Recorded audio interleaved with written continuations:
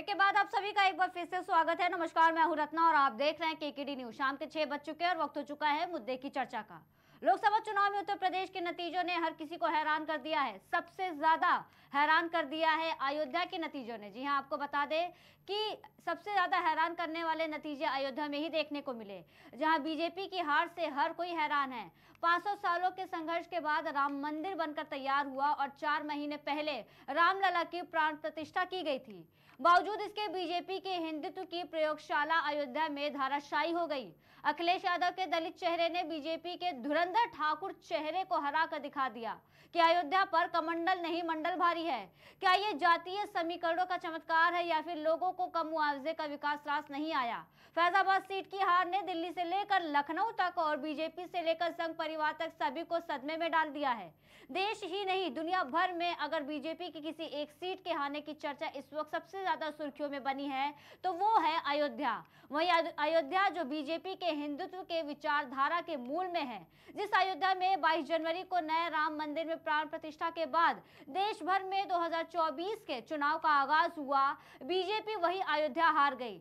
पिछले 40 सालों से जिस अयोध्या के राम मंदिर आंदोलन के बदौलत बीजेपी ने अपनी पूरी पार्टी खड़ी कर ली, वो अयोध्या भाजपा राम मंदिर के प्राण प्रतिष्ठा के कुछ महीनों के भीतर ही हार गई। अभी हार के कारण तलाशे भी जा रहे हैं। कोई इसे भाजपा के ओबीसी और दलितों के छिटकने की हार बता रहा है तो कोई अखिलेश के सॉलिड जातीय समीकरण साधने को वजह मान रहा है। कोई इसे बीजेपी के भीतर दिल्ली और लखनऊ के तनाव से जोड़कर देख रहा है। अयोध्या की हार नहीं सिर्फ़ बीजेपी की ही नहीं है, बल्कि देश भर के भाजपा समर्थकों और हिंदुत्ववादी सोच के लोगों के लिए एक सदमे जैसा है। यूँ तो फैजाबाद समाजवादी पार्टी के सबसे तगड़े समीकरण के सीटों में से एक है, लेकिन इस बार संविधान बदलने का जो माहौल रहा, जो नैरेटिव पिछले कुछ दिनों में तैयार हुआ, उसकी पृष्ठभूमि में अयोध्या और उसके सांसद लल्लू सिंह थे। जब बीजेपी ने 400 पार का नारा दिया तो लल्लू सिंह ही वो पहले सांसद थे, जिन्होंने अयोध्या में कहा कि 400 सीट बीजेपी को संविधान बदलने के लिए चाहिए, और उसके बाद तो संविधान बदल देने का मुद्दा ऐसा ज़ोर पकड़ा कि बीजेपी पूरे चुनाव में इस पर सफ़ाई देती रही और इस नैरेटिव का जवाब देती, घूमती रही, जो बीजेपी अयोध्या के बल पर 2024 चुनाव का नैरेटिव गढ़ रही थी। इस अयोध्या से निकली संविधान विरोधी आवाज़ ने उत्तर प्रदेश में बीजेपी का पूरा खेल बिगाड़ दिया। वहीं नवनिर्वाचित सांसद अवधेश प्रसाद ने कहा कि अयोध्या की जनता जिस तरह से बीजेपी से नाराज़ थी, ऐसे में पीएम मोदी भी चुनाव लड़ते तो हार जाते।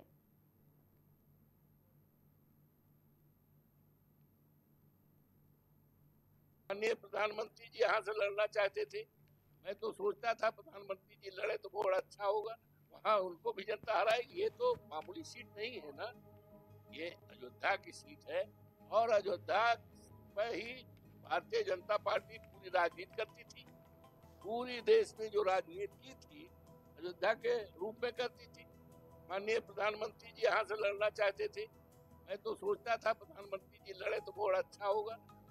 वहाँ उनको भी जनता हराएगी तो वो तो आए नहीं, हिसाब किताब लगाया, तमाम रिपोर्ट मंगाया, कहा ये सुरक्षित सीट नहीं है और विपक्ष का जो उम्मीदवार है अवधेश प्रसाद, बड़ा जमीनी है लोकप्रियता है और सब लोग समर्थन करेंगे। तो हमारे प्रधानमंत्री, मैं तो इंतज़ार करता था।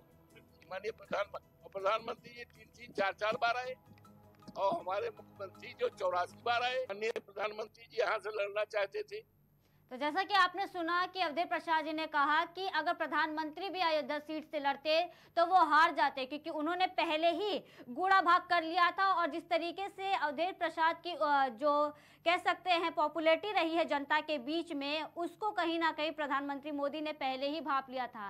लेकिन अब अयोध्या में जिस तरीके की हार मिली है बीजेपी को, उसके बाद जो समीकरण लगाए जा रहे हैं, जो कयास लगाए जा रहे हैं, उसको लेकर के अभी भी चार जून के नतीजे आ गए हैं और अभी भी वक्त वक्त बीत चुका है, दो तीन दिन बीत चुके हैं, लेकिन अयोध्या की हार किसी को भी हजम नहीं हो रही है। फिर चाहे वो जनता हो या बीजेपी हो, एनडीए की बात कर ले, अभी भी एक तरीके का सदमा ही है जिससे वो उबर नहीं पा रहे हैं। इसी मुद्दे को लेकर के हमारे साथ बातचीत करने के लिए हमारे खास पैनलिस्ट हमारे साथ मौजूद है। मैं उनका स्वागत करना चाहूँगी बीजेपी से राजीव मिश्रा जी का, कांग्रेस से देवेंद्र तिवारी जी, सपा से जैनुल अख्तर जी और हमारे पॉलिटिकल एनालिस्ट सुनील त्रिपाठी जी का। आप चारों पैनलिस्ट का बहुत बहुत स्वागत स्वागत है। शुरुआत मैं करना चाहूँगी राजीव जी से कि जिस तरीके के ये कयास लगाए जा रहे हैं और अब ये कहा जा रहा है कि पूरा का पूरा जो फोकस था, वो राम मंदिर को बनाने में लगा दिया गया। तो जनता का जो फोकस था, जनता का जो मुद्दा था, उसे पूरी तरीके से दरकिनार कर दिया गया और यही वजह रही है कि अयोध्या में इस तरीके की हार देखने को मिली है बीजेपी को। राजीव जी। देखिए, अयोध्या हमारी आस्था के प्रतीक ज़रूर है, राम मंदिर का भव्य निर्माण 500 सालों के बाद हुआ। इसका अर्थ यह नहीं हुआ का, हमारे कोई बहुत बड़ी विफलता हुई है। हाँ ज़रूर यहाँ हार हुई और हम उसकी समीक्षा कर रहे हैं। कहीं ना कहीं गलतियाँ हुई होंगी। तभी ऐसी स्थितियों में कोई भी पार्टी अपने आप को पाती है। रही बात, में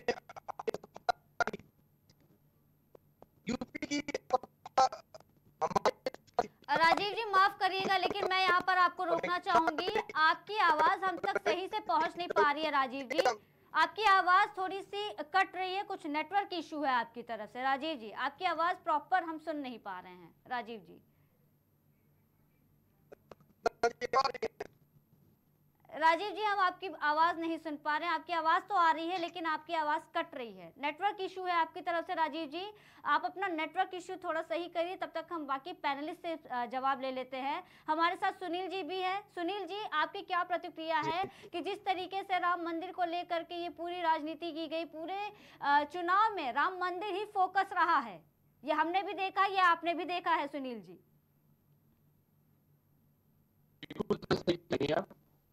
देखिए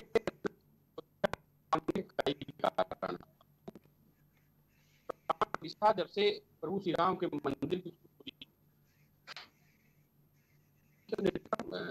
साफ़ नहीं आ रहा है हमारी तरफ़ से जी सुनील जी आपकी तरफ़ से भी कुछ नेटवर्क का इशू आपकी आवाज़ कट रही है।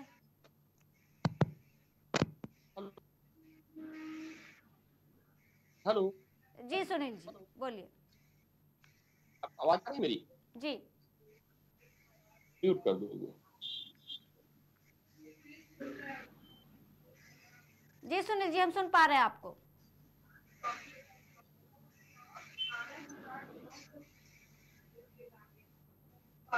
हाँ रत्ना जी आई आई आवाज़ में। जी जी सुनील जी हम आपको सुन पा रहे हैं आप जवाब दीजिए। था कि अयोध्या में भाजपा के हार के कई कारण हैं। जी।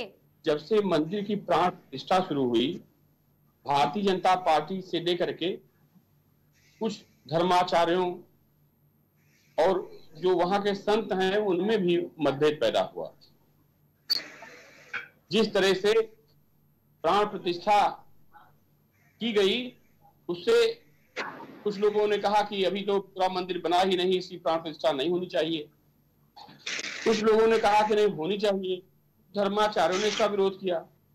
ये कहीं न कहीं देखिए तो भारतीय जनता पार्टी की जयचंद हैं उन्होंने भी बीजेपी को हराने प्रयास किया।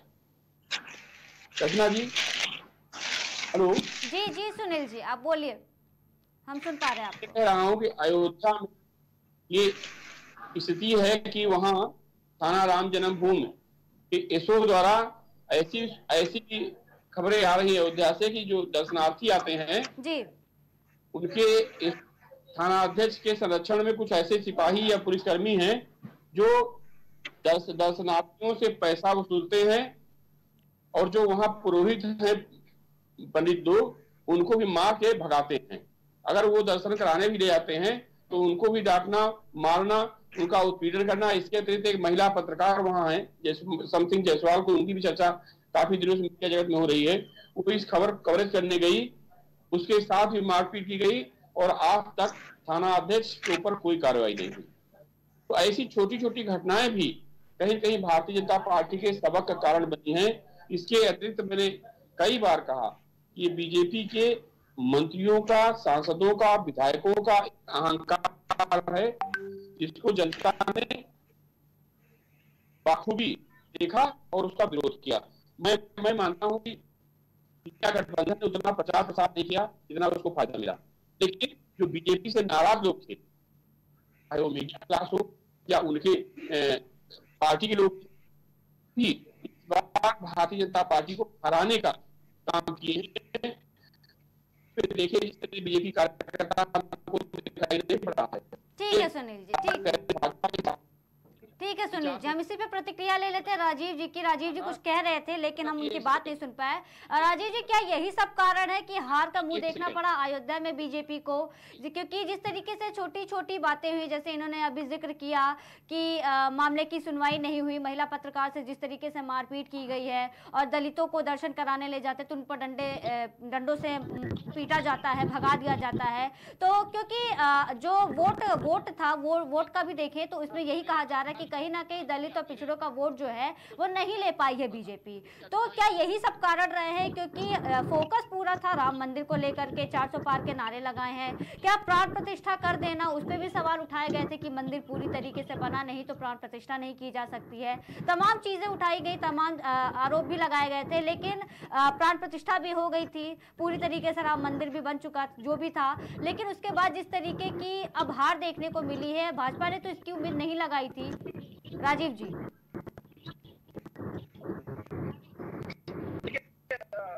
जी, मैं एक बात जो ये उत्तर प्रदेश के चुनाव नतीजे आई हैं अयोध्या तक ही बात सीमित रखना मेरे हिसाब से क्योंकि अधिकतर जगहों पे दलित वोट है, वो हमारे खिलाफ ट्रांसफ़र हुए, जो विपक्ष ने यह भ्रम का जाल फैलाया कि हम संविधान में बदलाव करने जा रहे हैं।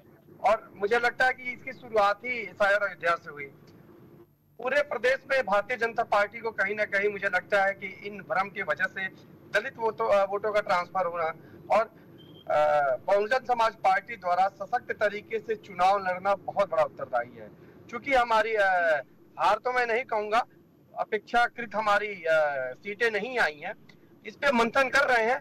और मैं आपको विश्वास दिलाता हूँ रत्ना जी भारतीय जनता पार्टी घमंडी पार्टी नहीं है। वो लौट के फिर आती है, वह दौड़ के फिर आती है, उसके कार्यकर्ता दिनों रात काम करते हैं, कभी घमंड में नहीं रहते, कभी नशे के चूर में नहीं रहते गुमान में नहीं रहते सफलता के।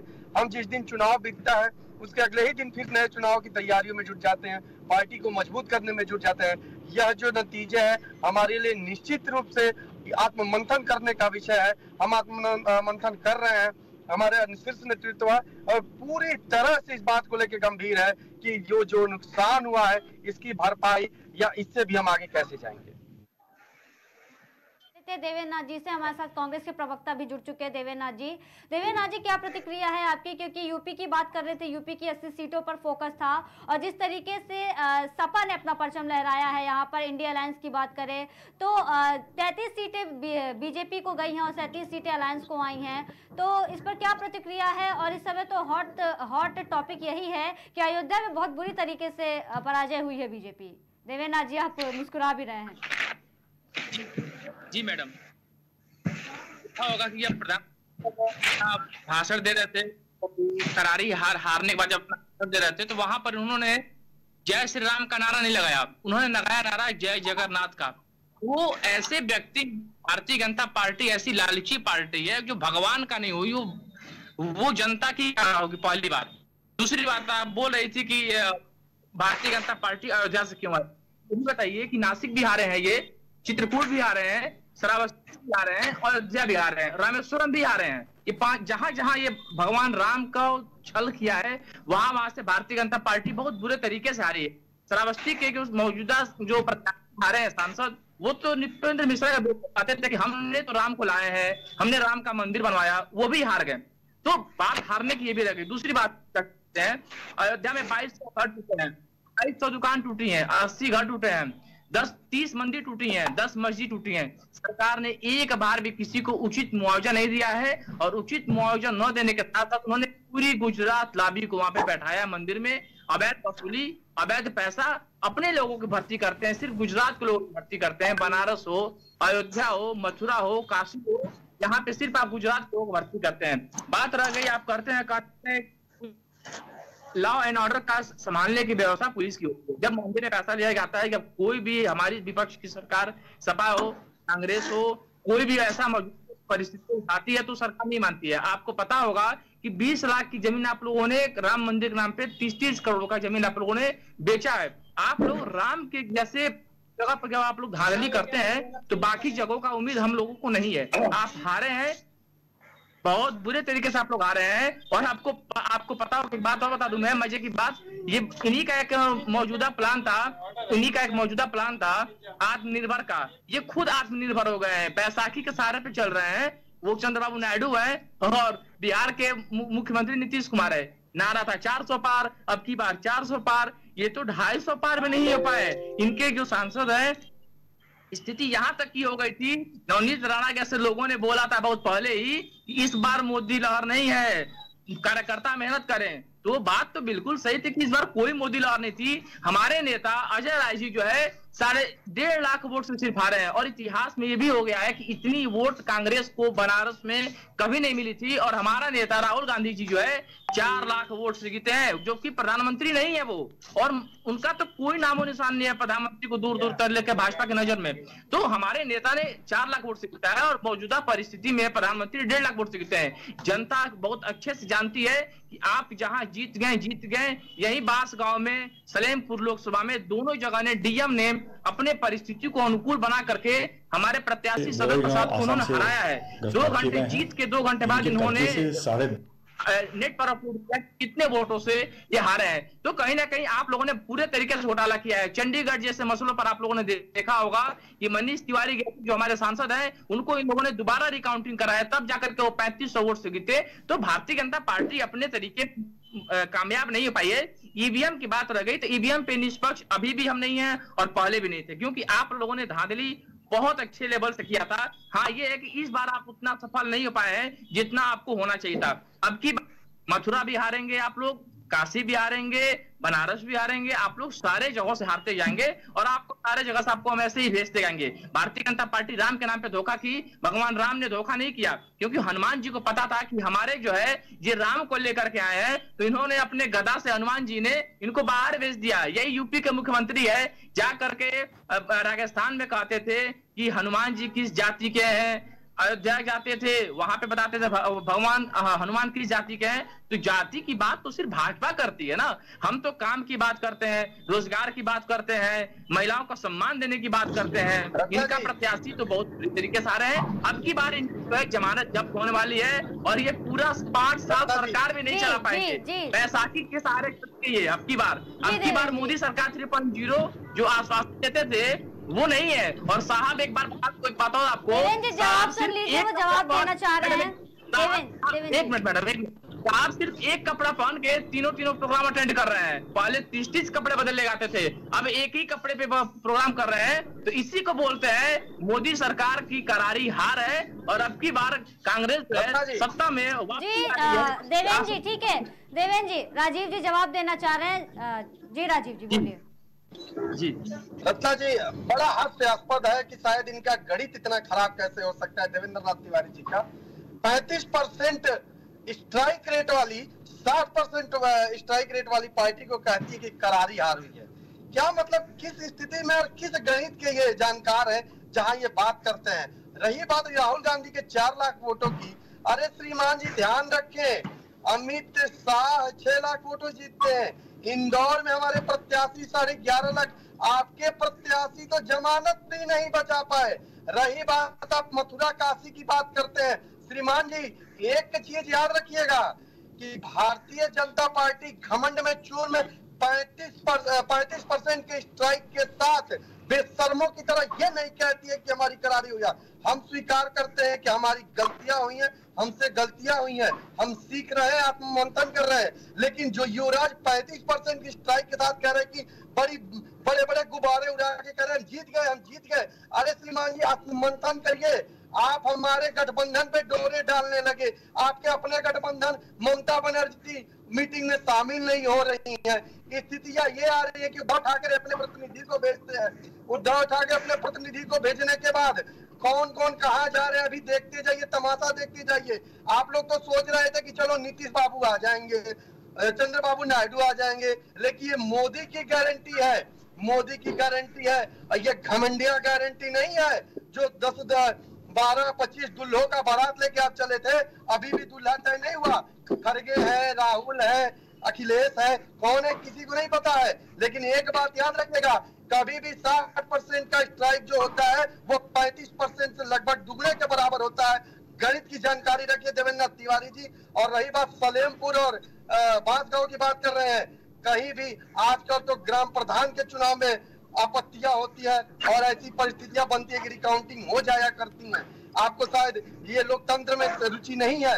आप सिर्फ़ संविधान का किताब लेके मीटिंग करने बैठते हैं, लोगों को दिखाने बैठते हैं। संविधान की कितनी ज्ञान है, शायद आपको नहीं पता होगा। लेकिन एक बात ये भी सुन लीजिए कि जब ऐसी स्थिति आई तो डीएम ने निष्पक्ष रूप से कहा कि हाँ सलेमपुर का प्रत्याशी हारा है और हमारे प्रत्याशी ने ईमानदारी से हाथ जोड़ते हुए स्वीकार करते हुए कहा कि जी श्रीमान जी, मैं अपनी हार को स्वीकार करता हूँ। आप लोग पाँच गाँव में तमाशा मचा के रख दिए, पूरी मीटिंग बना दी गई। आप लोग कहते हैं, यहाँ से मेरी लाश जाएगी। यहाँ मानने वाले नहीं है। कलेक्टर की या तो लाश जाएगी या मेरी लाश जाएगी। ये कौन सी भाषा का उपयोग है? एक आई अधिकारी के साथ। आप लोग अभी से घमंड में चूर है। समाजवादी पार्टी के लड़के आते फेसबुक पे लिखते हैं कि अभी ये ट्रेलर है, तमाशा तो होना बाकी है। श्रीमान जी, इसी इसी चीज़ आप जीत का घमंड बनाते हैं। आपकी पैंतीस सीटें और आपकी सैंतीस सीटें और आपकी बारह, चौदह सीटें, यही चीज़ साबित करती है क्या? कि आप इसी चीज़ के लिए अपने कार्यकर्ताओं को छूट दे रहे हैं। ठीक है, राजीव जी। ठीक है।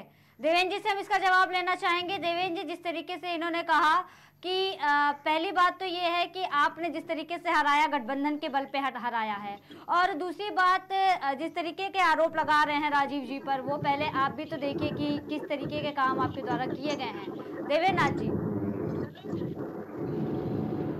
ठीक है देवेंद्रनाथ जी देवेंद्रनाथ जी से हमारा संपर्क थोड़ा सा टूट गया है। हम हमारे साथ सपा के प्रवक्ता हैं जानू लखता जी। जानू लखता जी आपकी प्रतिक्रिया में लेना चाहूँगी यहाँ पर। हाँ, मैडम आप सभी बैठे हुए पैनल पे सभी लोगों को मेरा नमस्कार। और मैं एक शिकायत करूँगा मैडम कि अगर चार लोगों को बैठाती हूँ तो सबसे समान प्रश्न पूछा करिए। तेईस मिनट निकल गया अब जब आपका डिस्कनेक्ट हुआ तब जैनुल अख्तर जी याद आए। इस तरह का जो है सब पैनल पे बुला जैनुल जी जैनुल जी जैनुल जी जैनुल जी एक जैनुल जी जैनुल जी।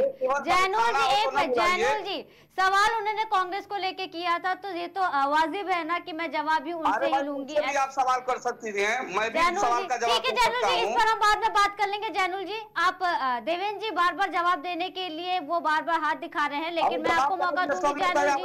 जैनुल जी आपको मैं पूरा वक्त दे रही हूँ आप जवाब दीजिए जैनुल जैनुल जी हम इससे बाद में बात कर लेंगे। जैनुल जी आप अपनी बात रखिए। जी। आप आप अपनी सवाल तो पूछिए तब तो मैं बात रखूँ। क्या पूछना जैनुल जी उत्तर प्रदेश की उत्तर प्रदेश की नतीजों की बात हो रही थी जैनुल जी और अभी आपने सुना कि बाकी के बैठे पैनलिस्ट भी यही कह रहे हैं कि बीजेपी पहले 400 पार के नारे लगा रही थी और अब कहती है कि हम तो आत्ममंथन करते हैं हम तो अपनी गलतियाँ हैं हमने उसे स्वीकारा है लेकिन अलायंस ऐसा नहीं करती है। लेकिन पहले इनके शब्द कुछ और हुआ करते थे पहले तो ये बड़े कॉन्फिडेंस में रहते थे। सवाल आपको समझ में आया जैनुल जी? जी जी जी जी। जी। मैं ये बात बताना चाहता हूँ मैडम आपके सम्मानित न्यूज़ चैनल पे कि लोकतंत्र में जनता सर्वोपरि होती है।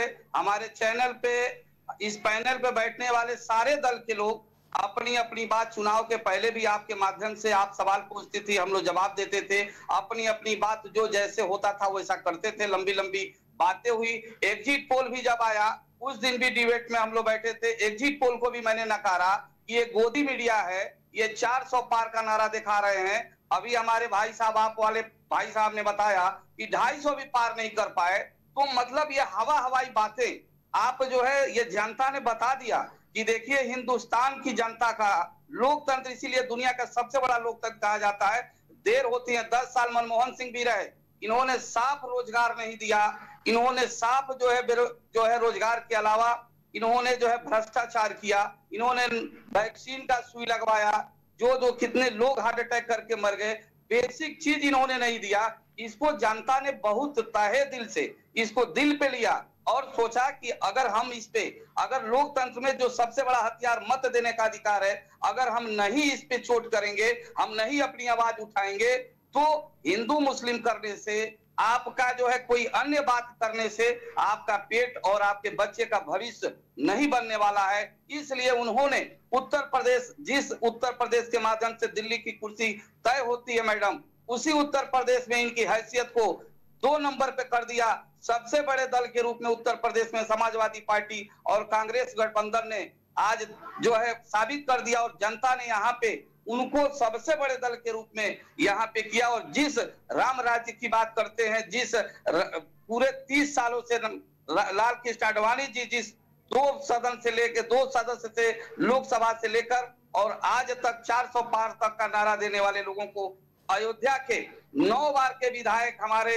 अवधेश जी ने बताया वहाँ की जनता ने, मैं अपनी बात नहीं कह रहा हूँ, ना मैं समाजवादी पार्टी के नेता की तारीफ़ कर रहा हूँ। आप ग्राउंड रिपोर्ट देखिए, आप तो इलेक्ट्रॉनिक मीडियम से हैं मीडिया की हैं, तमाम हमारे न्यूज़ चैनल पे बैठने वाले हमारे साथी देखते हैं। वहाँ पे एक पत्रकार महोदय जाते हैं और वहाँ के स्थानीय आदमी से पूछते हैं कि आप बताइए कि रामलला का यहाँ पे प्राण प्रतिष्ठा हुआ, मंदिर बना, हवाई जहाज़ बना, तमाम चीज़ें बनी, लेकिन यहाँ पे क्यों हार गए? तो वो स्थानीय लोग बोले कि आप बताइए कि ये सब चीज़ बना, लेकिन इसके पीछे अभी हमारे आप वाले भाई बात को मैं साथ छोड़ता हूँ। उन्होंने भी बताया कि यहाँ पे जो है आपकी कितने मकाने तोड़ दी गई। रामपथ एक रास्ता बनाया गया था, उसमें मकाने टूट गई। मंदिर भी टूटे, मजार भी टूटे, मुआवजा भी उचित नहीं मिला। तमाम लोगों को, जो लोग बाहर से आए हुए हैं, वहाँ के स्थानीय लोगों को रोज़गार नहीं मिला। मुंबई से 200 करोड़ रुपए लगा के होटल बना रहे हैं। गुजरात से लोग आके वहाँ पे अपना जो है टूरिस्ट बना रहे हैं। बनारस में वही हाल है कि गंगा घाट, गंगा किनारे जो स्टीमर और जितने भी पानी की जहाजें हैं, वो सब के सब गुजराती लोगों का है। तो इससे स्थानीय लोगों में आक्रोशित हुए। उन्होंने रोजी रोटी की तलाश के लिए अपना बनाया है। उनको कहीं से इज़्ज़त सम्मान नहीं मिला, जिसका लोकतंत्र में जो है, इन्होंने ज़बरदस्त अपना जो है सम्मान और अपने रोजी रोटी के सवाल पे वोट दिया है और लोकतंत्र में किसी की भी सरकार हो, सरकारें आती हैं और जाती हैं, मैडम। इंसान को, सरकार को भी सोचना चाहिए कि आपकी तानाशाही इतिहास उठा के देख लीजिए, चाहे हिटलर हो, चाहे मुसोलिनो हो, कोई भी हो, किसी की जो है हिटलर शाही चला नहीं है। जनता अपना जब गदा उठा लेती है तो एक तरफ़ कर देती है और वही हुआ हिंदुस्तान में, उत्तर प्रदेश में। खास तौर से हमारे उत्तर प्रदेश की जनता को मैं धन्यवाद देना चाहता हूँ कि आपने जो है बहुत अच्छे तरीके से आपने परिणाम दिया रोजी रोटी के सम्मान पे आपने संविधान बदलने के मामले को लेकर आपने जो है रोज़गार को लेकर आपने पेपर लीक को लेकर तमाम ऐसे मुद्दे को आपने अग्निवीर योजना आपने बना दिया। मैं आपके चैनल के माध्यम से मैडम बताना चाहता हूँ। अब हमारे माननीय प्रधानमंत्री जी भी अग्निवीर वाले योजना में आ चुके हैं। सुबह आपके चंद्रबाबू नायडू को फ़ोन करके चाय पियेंगे। शाम को डिनर के समय जो है, नीतीश कुमार जी से पूछेंगे, कोई बड़ा बिल अब सरकार नहीं ला पाएगी। उनको अपने सरकार और 26 दलों को समझाने बुझाने में मामला जो है, खत्म होगा और ये एक जो है, पोलियो वाली सरकार बनेगी। कब गिर जाएगी, कब क्या होगा, ये जो है, इनकी जो है, जो सत्ता के नशे में ये लोग थे, जो जनता के नब्ज को टटोल नहीं पाए ये चाहते क्या है, इनकी मूल समस्या क्या है इस पे न चल के हिंदू, मुस्लिम, ऊंच, नीच, तमाम तरह के मुद्दे को लाए और जनता ने अपने अच्छे समय पे उनको जवाब दिया है और ऐसे देश के सभी हम खास तौर से उत्तर प्रदेश की जनता को मैं सलाम करता हूँ कि आने वाली जो भी सरकारें हों, जो अपने को जो है बेहतर, अपने को घमंड में आ जाए, अपने को जो है भगवान मानने लगे, उसको यही जनता जो है सबक सिखाती है और ताए दिल से उत्तर प्रदेश में आपके न्यूज़ चैनल के माध्यम से मैं सलाम करता हूँ लोकतंत्र। जिंदाबाद, जमहूरियत जिंदाबाद का नारा देता हूँ, मैडम। ठीक है, जैनुल जी, हम इसी पे प्रतिक्रिया ले लेते हैं। राजीव जी से, राजीव जी कुछ कहना चाह रहे थे। जी, राजीव जी जिस तरीके से जनता में आक्रोश देखने को मिला, और पहले तो जो घर तोड़े गए, जो दुकानें तोड़ी गई हैं, राजीव जी, इसी का नतीजा देखने को मिला है, क्योंकि मंदिर तो बन गया, लेकिन जो लोगों की झोपड़ियाँ उजाड़ दी गई हैं, लोगों के घर उजाड़ दिए गए, लोगों का जिससे पेट पलता था, वो दुकानें उजाड़ दी गई थी, उनको उचित मुआवजा नहीं दिया गया। दूसरी बात, पेपर लीक जैसे मामले बार बार आ रहे थे। नतीजों से पहले कहा जा रहा था कि कार्रवाई कार्रवाई की जा रही है और पेपर लीक से मामले को संज्ञान में लिया जा रहा है। लेकिन जनता कहीं ना कहीं पूरी तरीके से नाराज़ तो थी और कहीं ना कहीं ये नाराज़गी अब देखने को मिल गई। राजीव जी।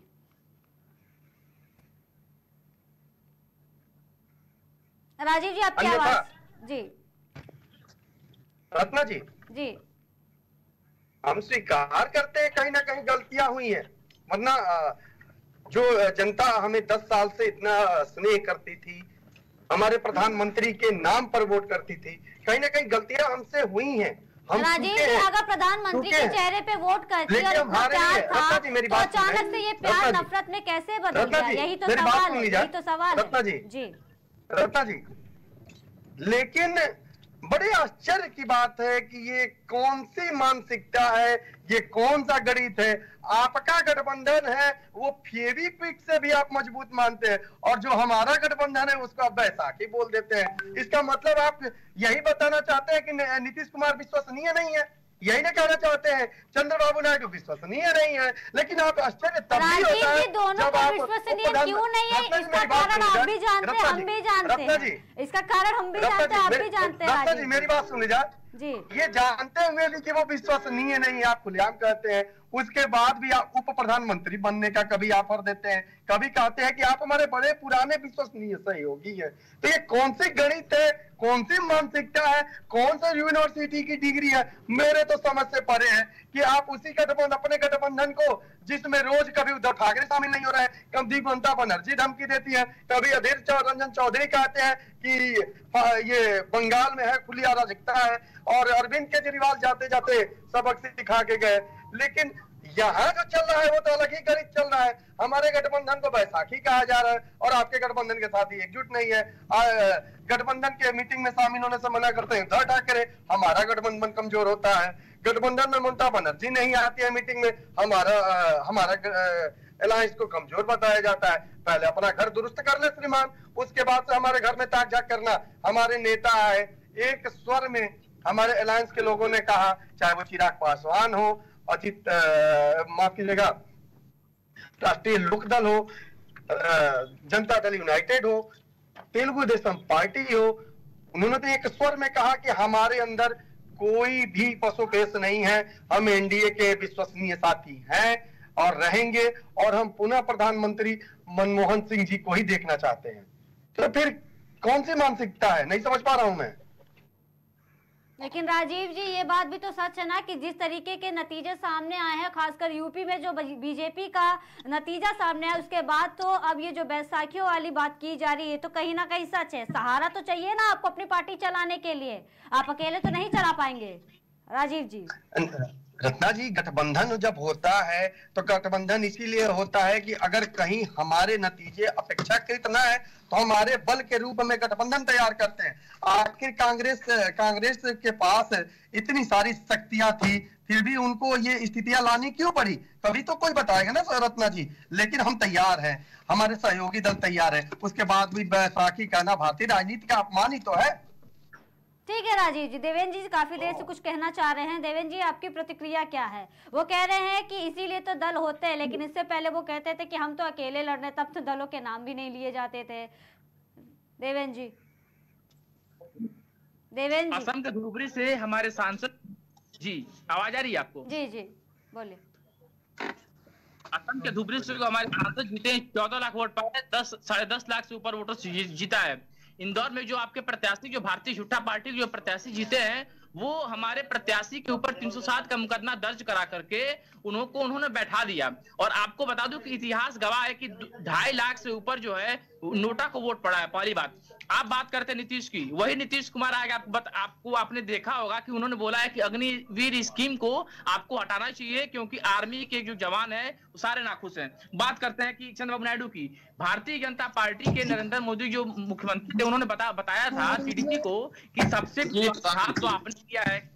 ससुर के पीठ में आपने छुड़ा घोपा है। ससुर को आप लोगों ने नहीं छोड़ा, आप लोगों ने उनको भी छुड़ा घोप दिया। बात कर रहे थे कि कौन डिग्री ली है? अरे भाई, हमारी डिग्री की आप जाँच ना करिए। आप जाँच करिए कि आपका जो प्रधानमंत्री है, भाई, हमारे वो प्रधानमंत्री नहीं है, क्योंकि हमारा प्रधानमंत्री देश का झूठा नहीं है। आपका प्रधानमंत्री है, वो इंटायर पॉलिटिकल की डिग्री लिया है, वो किसी को पता नहीं है। रडार देख करके समझ नहीं आता है धूप देख के समझ नहीं आता है। और आप बात कर रहे थे कि हमारे गठबंधन की बात कर रहे थे। आपको बताना चाहिए कि प्रवीण निशा सलमान जी कम से कम आलू से सोना तो नहीं बनाते हमारे प्रधानमंत्री।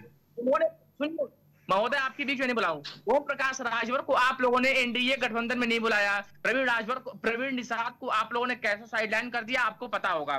बात कर रहे थे कि जब हारते हैं तो आप नड्डा जी का फ़ोटो लगा रहते हैं। जीतते हैं तो नरेंद्र मोदी का फ़ोटो लगा रहते हैं। और तो और जब आप ओपिनियन या भाषण नरेंद्र मोदी देते हैं वहाँ बोलते हैं जय जगन्नाथ जय श्री राम का भाषण अगर उनको देना चाहिए था उनको क्योंकि आप लोगों ने राम के साथ धोखा किया है जनता के साथ धोखा किया है। आप लोग क्या सोचते हैं कि आप जय श्री राम का नारा प्रधानमंत्री नरेंद्र मोदी नहीं बोलेंगे तो हम नहीं बोलेंगे। भाई हमारे तो आस्था राम है हम तो बोलेंगे। आप लोगों ने छल किया है। आप सिर्फ़ ईवीएम के दल जल दल पे बल पे आप चुनाव जीतना चाहते थे लेकिन इस बार आप पैंतीस परसेंट की स्ट्राइक वाली पार्टी साठ परसेंट पार्टी वाली को छल की बात कर रही है। कहाँ तक जाए है? प्रवक्ता की सुन लीजिए आपके इस इस गठबंधन का नतीजा ये रहा है कि उत्तर प्रदेश के जो बाबा मुख्यमंत्री है टोटल जो आपने लड़े हैं पैंतीस परसेंट स्ट्राइक है आपका और। परसेंट स्ट्राइक वाली बात कह रहे हैं कि हार है श्रीमान जी, आप तो मंथन करें। आपको समय है अभी भी। आपको बताना है कि नेता को इस हार से योगी योगी उत्तर प्रदेश के मुख्यमंत्री योगी आदित्यनाथ बराबर पुलिस अधिकारियों की मीटिंग ले रहे हैं डिप्टी सीएम की मीटिंग ले रहे हैं आप लोग इलाहाबाद जैसे डिप्टी श्रीमान जी आचार संहिता आचार संहिता खत्म होने के बाद आपको शायद नहीं पता होगा ये। मुख्यमंत्री सभी अफसरों सभी मतलब अफसरों के साथ मीटिंग करते हैं क्योंकि उसके पहले चुनाव आयोग देखती है। श्रीमान जी शायद आपको पता नहीं है। नहीं नहीं आप अब पैसा के सारे देंगे आप ही का योजना था आत्मनिर्भर योजना। आप ही का योजना निर्भरता श्रीमान जी वही तो कह रहा हूँ। आपके साथी इतने विश्वसनीय है कि मीटिंग में आ तक नहीं रहे हैं। और हमारी हमारे भी हमारे साथी को बैसाखी की बात करते हैं? कहाँ तक जाए बड़ा हास्यास्पद है। आप कौन सी यूनिवर्सिटी से पढ़ के आप भी आए हैं? अरे आप पहले ममता बनर्जी से बात कर लें। आप पहले उद्धव ठाकरे से बात कर लें। वो तो लगा के सुविधा के भूख क्या हो सरकार 400 पार। तो पार तो हो नहीं पाए आप लोग। श्रीमान जी साढ़े तीन सौ आप भी पा रहे थे श्रीमान जी राहुल बाबा भी साढ़े तीन सौ का सपना देख रहे थ्री डिजिट में रह गए। सत्तर साल नेहरू की। श्रीमान जी। आप याद करिए आपको आडवाणी के साथ क्या किया? आप लोगों ने क्या किया? चित्रकूट में क्या किया? अरे आपने मनमोहन सिंह के साथ क्या किया? आपने राव के साथ क्या किया? आपने संजय गांधी के साथ क्या किया? इतिहास उठा के देखिए अपनी पार्टी से बलात्कार निकालिए। इमरजेंसी के दौरान जनता के साथ क्या किया? आप अपनी पार्टी आप बोलते हैं कि हम संविधान में छेड़छाड़ करते हैं। तिरपन बार इंदिरा गांधी ने संविधान के साथ छेड़ किया। सोलह बार जवाहरलाल नेहरू ने छेड़छाड़ किया। और आप कहते हैं कि संविधान खतरे में है। आप हर जगह से लतियाए आते हैं। अरे देवेंद्र जी देवेंद्र जी शब्दों की मर्यादा रखिए। देवेंद्र जी शब्दों की मर्यादा रखिए देवेंद्र जी देवेंद्र जी शब्दों की मर्यादा निन्यानवे रखिए। सीटों की ये भाषा है श्रीमान जी आपकी। निन्यानवे सीटों की ये भाषा है। अब सोचिए आप जिस शब्दों की मर्यादा आप जिस दिन बहुमत में आ गए क्या करेंगे? आप थोड़ा लहजे में रहकर करिए ठीक है? आप दोनों के बाद में फिर से आपके पास आती हूँ। हमारे साथ सुनील जी भी हैं। सुनील जी, ये जो तू तू मैं मैं हो रही है, नतीजे आ गए उसके बाद भी। लेकिन इस पर अब क्या क्या कह सकते हैं? जो संकेत दिया जा रहा है, जो बैसाखियों की बात की जा रही है, पहले तो दलों के नाम नहीं लिए जाते थे। पहले तो कहा जाता है कि एक पूरा इंडिया अलायंस मिल करके एक अकेले आदमी के अगेंस्ट खड़ा है। लेकिन जीत तो वही दर्ज करने वाली है। लेकिन अब जब से उलट फेर हुए हैं नतीजों में तो उससे दलों की भी बात की जा रही है आत्म मंथन की बात की जा रही है। सुनील जी। देखिए रत्ना जी जी। मैं कांग्रेस के भाई से अपने कहना चाह रहा हूँ कि धन्यवाद आप अखिलेश जी को दीजिए। अगर राहुल जी लाखों के मतों से जीते हैं तो आप अकेले लड़के देख लेते उत्तर प्रदेश में। आपकी क्या स्थिति होती? उत्तर प्रदेश की जनता भारतीय जनता पार्टी के मैं राजू जी छोटे भाई हैं हमारे मैं विशेष नहीं कहूँगा लेकिन तानाशाही से त्रस्त हो गई थी। मैं जिस जिस नेता को आप बताओ उस नेता को मैं कहूँ इनके अध्यक्ष से लेकर भारतीय जनता पार्टी के अध्यक्ष भूपेन्द्र चौधरी जी से अगर मिलने जाइए, मेरे सामने घटना में मिलने गया, इलाहाबाद के पदाधिकारी थे, उनको गेट के बाहर खड़ा कर दिया गया। वो भी मेरी समझ से पूर्व में मिलने रह चुके हूँ या समथिंग, वहाँ महामंत्री हूँ। ये घटना मेरे सामने की है। और डिप्टी सीएमओ बात कर लीजिए तो ब्रजेश पाठक जी को मैं आज से नहीं, कम से कम छह महीने से आगाह कर रहा हूँ कि उत्तर प्रदेश में स्वास्थ्य सेवाएँ इतनी खतरनाक हो गई हैं कि एक आदमी भर्ती कराना हो। तो हम जैसे लोग खबर नवीस फ़ोन करते हैं, उस पर भी रिस्पॉन्स नहीं मिलता है। जबकि योगी आदित्यनाथ स्वास्थ्य विभाग को अरबों रुपया बजट देते हैं, करोड़ों रुपया बजट दे रहे हैं, उसके बावजूद भी स्वास्थ्य सेवाएँ आपकी डैमेज रही है। कोई भी स्वास्थ्य कर्मी पूछ लीजिए, वो भी परेशान है, और जो बेचारे दुर्भाग से मरीज़ जाते हैं, उनके साथ कैसा व्यवहार होता है कितना उनको लाभ मिलता है? दूसरी बात प्राइवेट प्राइवेट हॉस्पिटलों का ये हाल है रत्ना जी लखनऊ में बात कर दूँ कि वेंटिलेटर पेशेंट मर जाते हैं। तब भी पैसा वसूल रहे हैं। आप देखिए कि दस साल पहले हॉस्पिटल एक था, छोटा सा था, दस सालों में कितना बड़ा हो गया, ना आईटी ध्यान देती है उसके ऊपर, ना ईडी ध्यान देती है। पैसा कहाँ से आ रहा है? वो उसी जनता का पैसा है। जनता इन पाँच सालों में भारतीय जनता पार्टी से एकदम ऊब गई थी। मैं एक बार नहीं, उस बार भी मैंने आपके चैनल पे कहा था, रत्ना जी, और बार बार मैं कहता रहता हूँ, हम लोग छोटे पत्रकार मैंने आपसे भी कहा था कि इस बार देख लीजिएगा शायद राजीव मिश्रा जी मेरे साथ थे। मैंने कहा था इंडिया गठबंधन पैंतीस सीटों तक उत्तर प्रदेश में पाएगा। और जो अस्सी बात कर रहे हैं, अस्सी छोड़ दिए साठ पार हो जाए, बड़ी बात है। आपके वहाँ मेरा वीडियो पड़ा होगा। हम लोग छोटे पत्रकार सभी जगह रहते हैं, आकलन करते हैं कि सच्चाई क्या है, लोग कितना परेशान है। जो अयोध्या की बात हमारे मित्र कर रहे हैं कि मंदिर रास्ते तोड़ दिए गए, मंदिर तोड़ दिए गए, मस्जिद तोड़ दी गई, मैं मानता हूँ, चलिए, कितने लोगों मंदिर, मस्जिद तोड़े गए? समस्या इस बात की नहीं है। ऐसे कई वक्तव्य भारतीय जनता पार्टी के नेताओं से आ गए आरक्षण में बदलाव करेंगे, आरक्षण खत्म कर देंगे, हम संविधान संशोधन करेंगे। इस देश के लोग भयभीत हो गए, कहीं नोटबंदी की तरह ऐसा न हो जाए कि संविधान संशोधन हो गया हमारा आरक्षण खत्म हो जाए। हालाँकि ये मतलब बीजेपी नहीं था, लेकिन बीजेपी का जो संदेश गया जनता में, मैं तो लोगों के बीच बैठता हूँ, उन्होंने कहा एक छोटा सा आरक्षण है, वो भी मेरा खत्म हो जाएगा। तीसरी बात जो मैंने बहुत अच्छी तरह देखी है राजीव जी माने न माने, भारतीय जनता पार्टी के जो सिपाही थे, मैं वफादार सिपाही चर्चा करूँगा, वो एक दो सिपाही तो ऐसे हैं रत्ना जी आपकी डिबेट में भी आते हैं। बेचारे कहे कि मैं भारतीय जनता पार्टी के चौखट पे जहर खा लूँगा लेकिन दूसरी पार्टी में जाऊँगा। उनमें मैं अब नाम लेने गुरेज नहीं विवेक श्रीवास्तव जी किसान मोर्चा के उपाध्यक्ष रहे। और आज भी देखिए भारतीय जनता पार्टी में पाँच साल से उनके साथ बैठ रहा हूँ। पाँच साल से वो भारतीय जनता पार्टी के पक्ष रख रहे हैं। बीजेपी ने कभी ये नहीं सोचा कि जो इस तरह दिन रात मेरे लिए प्रचार कर रहा हो क्या उसको अपने अं, अंदर लाना अच्छा है या नहीं अच्छा है? जो नई नई कमेटियाँ बनी, ऐसे कई सिपाही सालारों को भारतीय जनता पार्टी के शीर्ष नेताओं ने किनारे कर दिया। तो जब आप अपने वफादार सिपाहियों किनारा करना शुरू कर देंगे, निश्चित रूप से उसका कहीं कहीं खामियाजा भुगतना पड़ेगा। इसके बाद मैं आ रहा हूँ ब्यूरोक्रेट्स ऊपर रत्ना जी, आपने भी देखा कि जनता से जुड़े चार ही विभाग में मानता हूँ, सिंचाई विभाग, कृषि विभाग, स्वास्थ्य विभाग, लोक निर्माण विभाग। इन चार विभागों में अगर आप आकलन कर लीजिए, कृषि विभाग में वही मंत्री, पाँच सालों पुराने रहे, पाँच साल में वही। एसीएस वही पाँच साल, वही इधर पाँच साल। तो आप एक ही व्यक्ति को आप एकदम काबिज कर दिए। मैं फिर कहना चाहूँगा कि एपीसी मनोज सिंह मनोज सिंह के बाद छत्तीस विभाग। मैं बार बार कहता हूँ, एक आई एस छत्तीस विभाग कितने, कितना समय दे पाएगा विकास कार्यों का? फिर भी मुख्यमंत्री चुप हैं। तो चुप रहिए। अगर आप चुप रहेंगे तो सत्ताईस में फिर बैठा कह रहा हूँ कि आपकी पार्टी का कोई नाम लेने उत्तर प्रदेश नहीं हुआ और यही यही इंडिया गठबंधन को उत्तर प्रदेश में फ़ायदा मिला है कि न चाहते हुए भी वोटर जाके समाजवादी पार्टी को वोट दिए हैं। क्योंकि अखिलेश जी देखिए उतना प्रचार नहीं कर पाए जितना हमारे नरेंद्र मोदी जी और योगी जी ने प्रचार किया है। फिर भी उपचारे हो गया क्योंकि इनके सा, सारे नेता दो चार छोड़ करके पब्लिक से मिलना पसंद नहीं है। मैं आप डायरेक्ट के साथ मैंने खबर पड़ी है कि दिनेश शर्मा जी को और जितिन प्रसाद जी को मंत्री बनाया जा रहा है। मैं दिनेश शर्मा जी के बड़ा निवेदन कहना चाह रहा हूँ जरा ब्राह्मण चेहरों मुख्य चेहरा है, घर पे जाइए, कितने ब्राह्मणों की मदद किया, कितने ब्राह्मणों की सेवा किया है, इसका आकलन बीजेपी नहीं कर रही है। हाँ मैं जितिन प्रसाद के बारे में ज़रूर कहूँगा। मेरा उनसे कोई लेना देना भी नहीं, हमारे क्षेत्र से काफ़ी दूर के हैं लखीमपुर के वो उनकी एक छवि, क्योंकि उनके पिताजी छवि वैसे रही, वैसे उनकी छवि एक एक समुदाय में ब्राह्मण समाज में अच्छी है। तो अगर आप ऐसे लोगों को केशव मौर्य जी को आपने देखा? केशव मौर्य जी कितनी कितनी जीत किया जी? जी। आपने आँख बूझ के पाँच साल टाइम वो टीम इलेवन की देख लीजिए उनकी टीम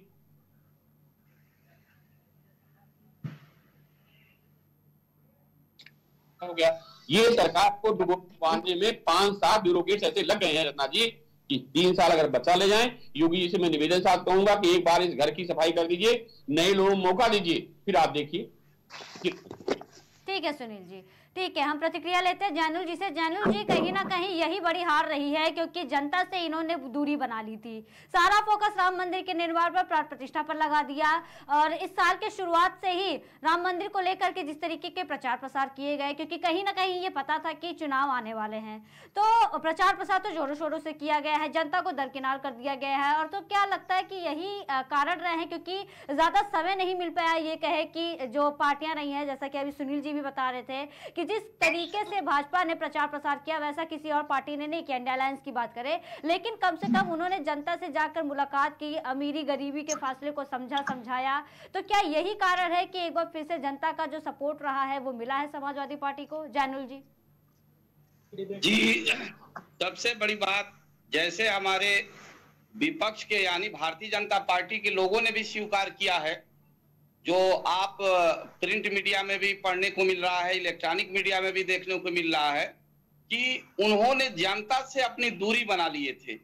दूसरी चीज़ उन्होंने अपनी जो भी उन्होंने काम किया वो चूँकि मैंने पहले भी डिबेट में कहता था कि धरातल पे वो दिखाई नहीं देता है। इन्होंने अपनी सफ़ाई हमने इनके एक नेता बोलते हैं कि आरक्षण हम खत्म कर देंगे। एक नेता बोलते हैं कि हम जो है आरक्षण किसी भी हाल में खत्म नहीं होने देंगे।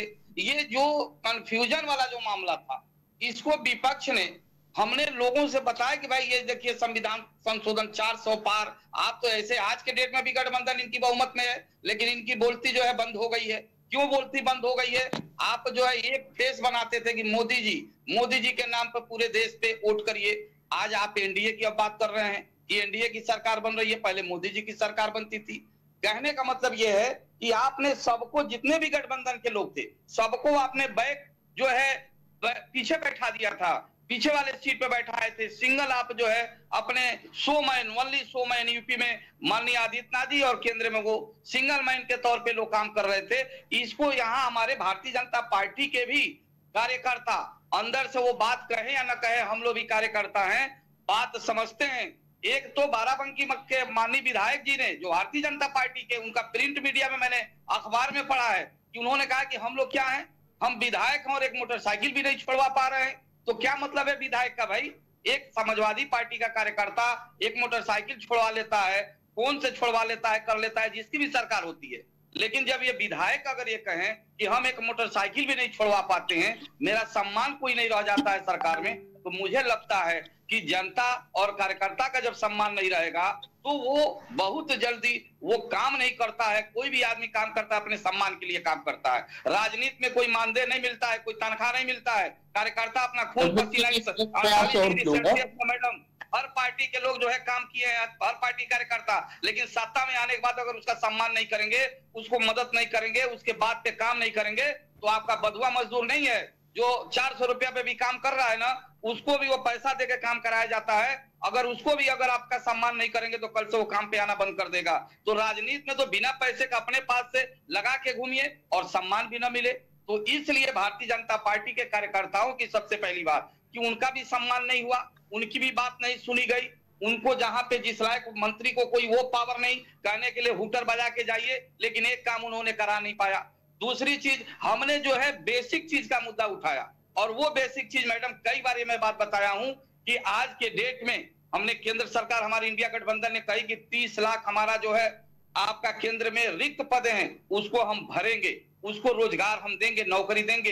इस भारत की जनता ने इसको एकदम सीरियस लिया, कहा कि हाँ रोज़गार मिलेगा। इसके अलावा हमने कहा कि जो रोज़गार सिविल सर्विसेज़, तमाम इलाहाबाद हाई, इलाहाबाद, आपके लखनऊ, आपके जो है दिल्ली में जो तैयारी कर रहे हैं आईएएस की पीसीएस की आरओ की आरओ की लोअर सब की, सिपाही की, जिस भी की, उस परीक्षा को ये लोग परीक्षा कराते हैं और सिपाही भर्ती हो। तमाम तरह की वो आप देखे हैं कि पेपर लीक हो गया। वो बच्चे परेशान, उनके गार्जियन भी परेशान। इन सब चीज़ों को हमने कहा कि अगर हमारी सरकार आती है तो हम ऐसा एक कानून बनाएँगे जो, आप बताइए, मैं तो निवेदन करता हूँ, मैं बड़ा सम्मान करता हूँ आदित्यनाथ जी से।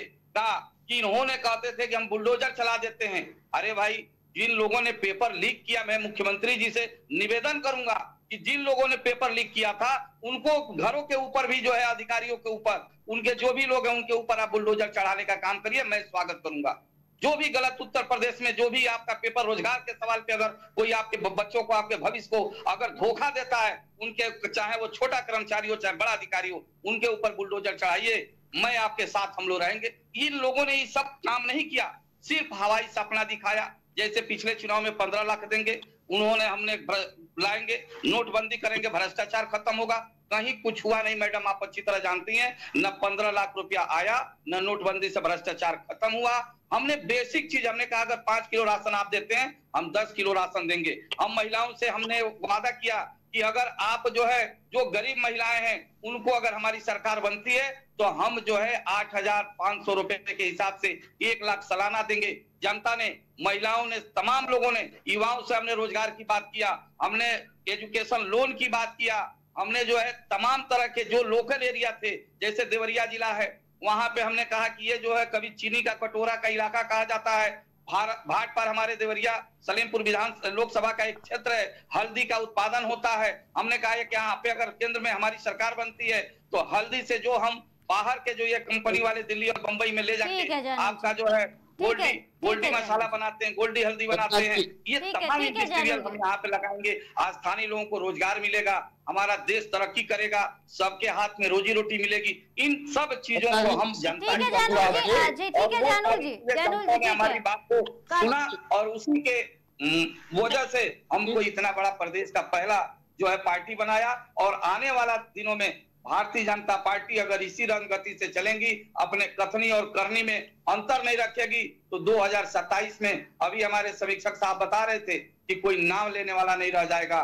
तो इसलिए 2027 में आपका जो है समाजवादी पार्टी अपने इसी रणगति से जनता के तमाम इस तरह के मसले को, जमीनी मसले को उनके बेसिक मसले को हम लेके अब सड़क पे भी आएँगे और सदन में भी रहेंगे जैनुल जी। और 2027 में उत्तर प्रदेश में सरकार ठीक है जैनुल जी आपने तमाम मुद्दों को लेकर के कहा और जिस तरीके से राजीव जी जवाब देना चाह रहे थे लेकिन जैनुल जी का कहना है कि आपने जो बेसिक मुद्दे थे उनसे जनता का ध्यान हटा दिया जनता को ही हटा दिया एक तरीके से ठीक है आपने जिस तरीके की हवा हवाई की बातें कही 2000 अ, अ, जो पिछले चुनाव में 2019 की बात करें उसमें भी हवा हवाई बातें कही गई थी लेकिन धरातल पर कोई काम नहीं हुआ और 2024 में भी वही देखने को मिला। तो कहीं ना कहीं बीजेपी का जो माइंडसेट था, वो तो यही था कि पिछली बार की तरह जनता भी इस बार बेवकूफ़ बन जाएगी और पूरे वोट उनको दे दिए जाएँगे। सबसे बड़ा मुद्दा तो राम मंदिर का ही रहा है। पूरे चुनाव भर में राम मंदिर राम मंदिर, प्राण प्रतिष्ठा, भगवान राम, जय श्री राम के नारे ही लगाए गए हैं। तो ज़ाहिर सी बात है, जब इस क्षेत्र में ही जहाँ इतना फोकस रहा है, इस क्षेत्र में इस तरीके की हार जब मिल चुकी है तो सवाल तो उठेंगे ना राजीव जी? जी। दत्ता जी मैं पहला तो मैं निवेदन करूँगा ये डिबेट हो रहा है कोई जो चुनावी जनसभा नहीं हो रही है। कम शब्दों में अपनी बातें कहिए इम्पैक्ट पड़े। ये उन्होंने आप लगातार कह दी पाँच मिनट सात मिनट। ठीक है कोई बात नहीं मैं क्षमा माँगता हूँ अगर इस दौरान मुझसे कोई गलती हुई हो तो। मैं एक चीज़ बताना चाहूँगा बेसिक चीज़ों की बात होती है। हम मुफ़्त सिंचाई की योजना लाते हैं। सौभाग्य योजना के अंतर्गत हम कम दरों पे बिजली और कनेक्शन देते हैं। सिलेंडर मुफ़्त देते हैं। कनेक्शन मुफ़्त देते हैं। दो सिलेंडर मुफ़्त देते हैं त्योहारों में। किसानों के लिए सम्मान निधि देते हैं। प्राथमिक शिक्षा के लिए कायाकल्प नाम का योजना आया, जहाँ प्रदेश भर में पूरे तरह से जो जीर्ण शीर्ण हो चुके थे प्राथमिक विद्यालय, उनको हमने बनवाया। उसके बाद प्रधानमंत्री आवास योजना के अंतर्गत शायद ही अब कोई ऐसा जगह होगा, रत्ना जी, जहाँ झुग्गी झुपड़िया देखने को मिलती है। हमने पक्के मकान दिए। रत्ना जी, बात बिल्कुल भी बेसिक चीज़ों की नहीं है। गलतियाँ हैं। हमारे नेता भी गलत हो सकते हैं। ईश्वर तो है नहीं। लेकिन जहाँ तक बेसिक चीज़ों की बात है, ऐसा नहीं है कि हमने बेसिक चीज़ों के लिए किया नहीं है। सबसे बड़ा जो छल हुआ है वो ये हुआ है कि संविधान बदलने के नाम पे एक बहुत बड़ा भ्रम फैलाया गया। और उसके आजकल के नाम। बचाव में लोगों को उसके बचाव में लोगों को लगा। ऐसा लगा कि श्रीमान जी श्रीमान जी मैंने बोला नहीं था। श्रीमान जी ये भ्रम फैलाया गया। आपने गलत किया है। बड़ी योजना आपने श्रीमान है वो आपने खत्म कर दिया है लोगों ने। तो बोला मत करिए। पहले- मैंने बीच में बोला नहीं था। सुना था आपको। पैसा बड़ी लेकर तन्मयता आवाज़ आपने दिया है तो आप नहीं जीत सकते हैं पैसा आप ही बोल दीजिए मैं नहीं मैं लेकर रत्ना जी आपने मैं डिबेट दिया है। छोड़ के जा रहा हूँ। एक मिनट एक मिनट एक मिनट एक मिनट एक मिनट एक मिनट रुकिए। पहले तो मुझे समझ नहीं आ रहा बोल कौन रहा है। आप लोग एक साथ ही शुरू हो जाते हैं। जब एक एक का मौका दिया गया है तो एक एक करके बोलिए। मुझे समझ में ही नहीं आता बोल कौन रहा है? एनडीए की तरफ़ से एक की तरफ़ से आप पैनल में बैठाती है बस एक एक इंसान को राजीव जी और एक विपक्ष में बैठाती है पैनल में तीन इंसान को। तो एक एक बार एक ही मौका दीजिए राजीव जी एक मिनट राजीव जी मैं बोल रही हूँ राजीव जी राजीव जी मैं बोल लोग रही हूँ एक मिनट एक राजीव जी तो एक तो। आप लोग फिर साथ साथ में शुरू हो जाते हैं। हमारे तो- पास समय कम होता है राजीव जी ठीक है राजीव जी एक सेकेंड आप दो मिनट पे अपनी बात खत्म कीजिए उसके बाद हम आखिरी प्रतिक्रिया लेंगे क्योंकि डिबेट का वक्त समाप्त हो रहा है ठीक है तो राजीव जी दो मिनट में खत्म करिए क्योंकि आप ही ने बोला था कम शब्दों में बात को रखिए ताकि समझ में आए इम्पैक्ट पड़े। तो इम्पैक्ट और देवेंद्र जी और बाकी पैनलिस्ट से हमारी गुजारिश है कि प्लीज़ इंटरफेयर ना करें। इंटरफेयर ना करें उनकी बात सुन लीजिए दो दो मिनट की बात है। राजीव जी अपनी बात पूरी कर ले फिर देवेंद्र जी आपके पास आती हूँ। ये जो संविधान के एबीसीडी भी नहीं जानते हैं जिनके सरकारों में तिरपन बार और कुल सोलह बार संविधान में संशोधन हुआ वो लोग आज मंच पे जब चढ़ के कहते हैं कि आज संविधान खतरे में है, जो दलित की बेटी मायावती का दमन करने के लिए कार्यालय तक को नहीं छोड़ते हैं, भाजपा का कार्यकर्ता बचाता है, वो कहता है कि दलितों के सम्मान के लिए समाजवादी पार्टी करिए बड़ा मुझे अजीब लगता है ये सुन के। आज वो दलित की बेटी थी, आज का उसका आपको सम्मान नहीं करना चाहिए था? आज भारतीय जनता पार्टी का कार्यकर्ता उसकी इज़्ज़त बचाने के लिए जाता है, अन्यथा उसके साथ क्या क्या हुआ होता, ईश्वर ही जानते हैं। वो लोग कहते हैं कि दलितों के सम्मान में हम खड़े हैं, खुलेआम आजकल चौराहों पे सिर्फ़ सैंतीस सीटों के साथ आजकल फेसबुक पे नेता लोगों को लिखना पड़ता है कि कृपया हमारे कार्यकर्ता संयमित रहे। हमको जोश में होश नहीं खोना है। उसके प्रत्युत्तर में लिखा जा रहा है कि अभी तो ये अगड़ाई है आगे बहुत लड़ाई है। अभी बस ट्रेलर लॉन्च हुआ है हम लोग तो पिक्चर दिखाएँगे। सुनील भैया ये किस स्तर की राजनीति है? क्या ये घृणित पूरा प्रदेश दंगे में मानसिकता की राजनीति नहीं है। ठीक है राजीव जी ठीक है राजीव जी हम जवाब ले लेते हैं। एक मिनट एक मिनट ठीक है ठीक है। सुनील जी इस पर आपकी क्या प्रतिक्रिया उसके बाद हम देवेंद्र जी आपसे प्रतिक्रिया ले लेंगे। लेकिन इंटरफेयर ना जी मैं बार बार कहता रहा हूँ कि समाजवादी पार्टी विकास के नाम पे कोई काम कसर नहीं छोड़ी लेकिन केवल लॉ एंड ऑर्डर जिसकी चर्चा राजीव जी कर रहे हैं। जी। सही कह रहे हैं कि अगर फिर दंगों की आग में आप प्रदेश को झोंकोगे तो फिर साफ़ हो जाओगे। और मैं बड़ा निवेदन साथ दो मिनट टाइम आपसे और लूँगा कि नरेंद्र मोदी जी ने जो काम किए छोटे छोटे अखबारों पर जीएसटी लगा दिया। अखबारों को इतना टाइट कर दिया कि जो कम से कम जो लाखों लोग रोज़गार पा रहे थे, आज मध्यम लघु एवं मध्यम समाचार पत्र बंदी कगार पे हैं और ऐसे आदेश ले आए, नियम ले आए हैं कि छोटे छोटे अखबारों को जीना मोहताज हो गया है। ये भी हार का एक कारण है। मैंने सुना कि छब्बीस सोलह तारीख को लघु एवं मध्यम समाचार पत्रों के नेता दिल्ली में जा रहे हैं धरना प्रदर्शन करने के लिए। रेलवे पास आपने कैंसिल कर दिया। सीनियर सिटीजन की सुविधा खत्म कर दी। तो ये छोटी छोटी चीज़ को आप ठीक समझ रहे थे। रत्ना जी, ये भी हार का एक कारण है। एक अखबार से 25 लोगों परिवार चलता है। उस अखबार को आपने इतना घेर दिया कि छोटे छोटे अखबार वाले जिनके लिए स्वर्गीय इंदिरा जी ने व्यवस्था की थी डीएपी गठन किया था कि लघु एवं मध्यम समाचार पत्र इस देश में यहाँ चलेंगे और यहाँ से उनको विज्ञापन मिलेगा। विज्ञापन तो दूर नरेंद्र मोदी जी ने जीएसटी ला दिया छोटे छोटे अखबारों के ऊपर। ये कितना बड़ा गंभीर मामला है और ये कहीं कहीं खनाजा अगर इस गठबंधन ने भी ध्यान नहीं दिया तो आगामी चुनाव में फिर कह रहा हूँ कि अभी तो इतनी स्थिति खराब हो इससे बुरी स्थिति खराब हो जाएगी रत्ना जी बहुत बहुत बड़े मुद्दे छोटे छोटे इनको सरकार ध्यान नहीं देती है। ठीक जी है रत्ना जी ठीक है जी। ठीक है देवेंद्र जी आप अपनी बात भी दो मिनट में खत्म करिए जी। अभी भारतीय जनता पार्टी का प्रवक्ता में बता रहे थे दलित की बात। आप वहाँ पे आपके दलित प्रेम का प्रेम कहा जब आपने देखा होगा दलित महिला के सरकार रही चालीस चालीस साल आज सरकार में दलितों के लिए क्या किया? चाहे समाजवादी पार्टी हो, चाहे भाजपा हो चाहे कांग्रेस हो सबकी सरकारें केंद्र से लेकर उत्तर प्रदेश रह चुकी हैं। लेकिन कितना किसने किया है ये जनता बाखूबी जानती है। है हारने का वजह ये नहीं वजह ये भी उन्होंने बोला था, हम बदलेंगे संविधान। आपको बता दूँ मैं कि 14 जून को नीट का रिज़ल्ट आने वाला था। आप लोगों ने 4 जून को नीट का रिज़ल्ट आया। आपको बताना चाहूँगा मैं ये बात, एक ही सेंटर से 720 में से 720 लड़के अंक पाए हैं। एक ही सेंटर से, ऐसा इतिहास में पहले कभी नहीं हुआ है। नीट का पेपर जो है, जो जो एजेंसी ने कराया हुआ है, वो भी आप लोगों ने बच्चों के साथ पूरी ज़िंदगी को आप लोगों ने अंधकार रखा है। हम लोगों ने, तमाम लड़कों ने आपको बताया था कि नीट का पेपर लीक हुआ है। आप देवेंद्र जी आपकी आवाज़ हम तक नहीं पहुँच पा रही है। रत्ना जी बीरेन जी कह रहे जी। हैं इस बात से कहीं तक मैं सहमत तो ऐसी चर्चाएँ समाज में हो रही हैं और जो बच्चे ने एग्ज़ाम दिया है वो भी कर रहे हैं। अब सच्चाई क्या सरकार का नहीं सरकार से जाँच कराएगी कि नहीं कराएगी? ये रत्ना जी इस पर प्रतिक्रिया हम राजीव जी से ले लेते हैं उसके बाद हम डिबेट यहीं समाप्त करते हैं। राजीव जी पेपर लीक्स को लेकर के जो बार बार जी ये ये सरकार इतनी गंभीर है स्वास्थ्य शिक्षा- शिक्षा और स्वास्थ्य सुविधाओं को लेके किस सरकार दस साल मनमोहन जी की सरकार रही थी मनमोहन जी की सरकार रही थी कितने मेडिकल कॉलेज कितने बनवा दिए गए। आज हमारे उत्तर प्रदेश में आज हमारे उत्तर प्रदेश के प्रत्येक जिसमें ये लक्ष्य है कि कि कितना भाजपा के नज़दीक है। ये स्वास्थ्य सेवाओं पर चर्चा ना कि ये मेरे मित्र सबसे खराब स्वास्थ्य सेवाएँ उत्तर प्रदेश की हैं और उस पर आज तक कोई कार्रवाई भी नहीं हो रही है। मैं हर चैनल पर चिल्लाता रहता हूँ लेकिन कोई इस पे ध्यान नहीं दे रहा है।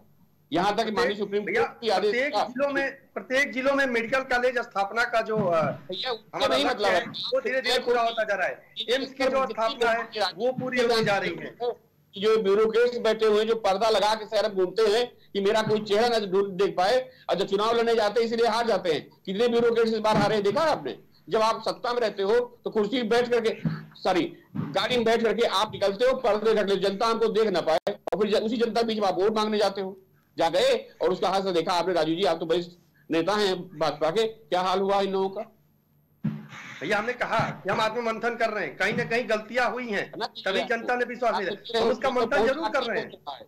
भैया आप तो मंथन कर रहे हैं। और भारतीय जनता पार्टी तो शून्य से ऊपर आई है। उसको किसी ने सत्या नहीं दी सत्ता नहीं दी थी। वो अपने संघर्षों के बदौलत सत्ता पाई थी। हमारी पार्टी बखूबी संघर्ष करना जानती है बखूबी आत्म मंथन करना जानती है बखूबी गलतियों से सीखना जानती है। हम कभी मुगालते घमंड में नहीं रहते। अगर कहीं गलती हुई है। हैं योगी जी को हमारे। उनसे निवेदन साथ एक बार ज़रूर कहिए कि इन चमचों के टीम इलेवन पे ज़रूर ध्यान रखिए। टीम इलेवन की देन है कि कहो इलेवन पे नहीं आ गए आप उत्तर उत्तर प्रदेश में। ये भगवान का राम कृपा है कम से कम आप इलेवन पे नहीं आए हैं। कोई व्यक्ति बड़ा नहीं है हमारी पार्टी में। सुनील भैया व्यक्ति तो बिल्कुल भी नहीं बड़ा पार्टी है में हम शिवराज सिंह चौहान हम शिवराज शिवराज सिंह चौहान को हटा के मोहन यादव को भी मौका देते हैं। कई ब्यूरोक्रेट्स इस पे सवाल उठाते हैं। क्या उत्तर प्रदेश को और ब्यूरोक्रेट्स दे रहे हैं? जिनको छत्तीस विभाग बीच में छह विभाग नहीं है छत्तीस विभाग विरोधी के बाद रखे। और मैं बार व्यक्ति कभी बड़ा नहीं हुआ है। बताया तो शिवराज सिंह चौहान के जगह पर मोहन सिंह मोहन यादव को तरजीह दी जाती है। रमन सिंह और हाँ। भजन लाल शर्मा को तरजीह दी जाती है। तो हम अपनी गलतियों से सीखना चाहते हैं भैया। पास बंद मानता है बंद पत्रकारों की कहीं ना कहीं टिकटों के टिकटों के लिए बंटवारे में माना जा सकता है कि हमसे गलतियाँ हुई हैं। हम उसका भी सुधार करते हैं। जनता के बीच में अगर जो हमारी शिकायतें हैं हम बैठ के आत्म मंथन करेंगे। हम जनता से भी पूछेंगे आखिर गलतियाँ कहाँ की है। ठीक है ठीक है राजीव जी, सुनील जी, ठीक है। तो राजीव जी का सीधा सा कहना है कि जहाँ पर गलतियाँ हुई हैं, जहाँ पर उनको लगता है कि ध्यान नहीं दिया गया है इस चुनाव में तो वो उसमें आत्ममंथन करेंगे। वो देखेंगे कि जो छोटी छोटी चीज़ों को पहले दरकिनार किया जा रहा था और अब उन छोटी छोटी जो चीज़ें थी, उसको ध्यान में रखा जाएगा। और इस तरीके की हवा हवाई बातें करने से बचेंगे, क्योंकि जनता का जो रिज़ल्ट था, जो जनता ने परिणाम दिया है, खासकर अयोध्या में, उससे अब एक तरीके से ये सबक जो है, कहीं ना कहीं लगता है बीजेपी ने सीख तो लिया है। अभी तो ये कह रहे हैं, आने वाले वक्त में क्या कहेंगे, अभी तो कुछ कह भी नहीं सकते। लेकिन फ़िलहाल के लिए उनका ये कहना है कि उन्होंने आत्ममंथन कर लिया है। तो बता दें कि जिस तरीके से अयोध्या में ये हार हुई है, इसके कई कारण बताए जा रहे हैं। सबसे पहला कारण तो यही बताया जा रहा है कि सारा फोकस राम मंदिर पर रहा। जनता को दरकिनार कर दिया गया इस दौरान। और जिस तरीके से बीजेपी ने लोगों से मुलाकातें ही नहीं की, क्योंकि जो जनता थी, जो दलित थे, जो परिवार जिनके घर उजड़े थे, उनको मुआवजा तक नहीं दिया गया, उचित मुआवजा तक नहीं दिया गया। लोग काफ़ी नाराज़ थे। उस वक्त तो कुछ नहीं कहा किसी ने, लेकिन जब परिणाम सामने आए वोट में जब वोट देने गई जनता तो उन्होंने दिखा दिया कि असली खेल कौन कर सकता है। तो यहाँ पे ये भी कहा गया कि अखिलेश यादव जो है वो लोगों के बीच गए, हालाँकि ज़्यादा वक्त नहीं मिल पाया उनको प्रचार प्रसार के लिए, लेकिन वो लोगों से मिले, अमीरी, गरीबी का फ़र्क भी समझाया, जो बीजेपी कहीं ना कहीं करने में चूक गई, नहीं कर पाए। मुआवजे की बात की जा रही थी, घरों और दुकानें तोड़ी गई थी, जिससे लोग संतुष्ट नहीं थे। कई तरीके की तस्वीरें भी सामने आई थी, हमने आपको दिखाई थी। और आपको बता दें कि उत्तर प्रदेश में जिस तरीके का हाल रहा है बीजेपी का, लेकिन अभी भी सत्रह राज्यों में भाजपा सत्ता में है। लोकसभा चुनाव, अरुणाचल और उड़ीसा में विधानसभा चुनाव के बाद अब तीन राज्यों के विधानसभा चुनाव भी होंगे। इनमें हरियाणा, महाराष्ट्र और झारखंड शामिल है। और अभी हरियाणा और अरुणाचल प्रदेश, सिक्किम, महाराष्ट्र, उड़ीसा में भाजपा की सरकार है। आंध्र प्रदेश में चंद्रबाबू नायडू की पार्टी तेदपा भाजपा और जनसेना का गठबंधन सत्ता में है और एक दिन पहले ही एनडीए ने सर्वसम्मति से नरेंद्र मोदी को अपना नेता भी मान लिया है। नई दिल्ली में बुधवार को हुई बैठक में एनडीए के 21 नेताओं ने एक पत्र पर हस्ताक्षर करके मोदी को अपना नेता स्वीकार किया। जिससे नरेंद्र मोदी के एक बार फिर से प्रधानमंत्री बनने का रास्ता अब साफ़ हो गया है।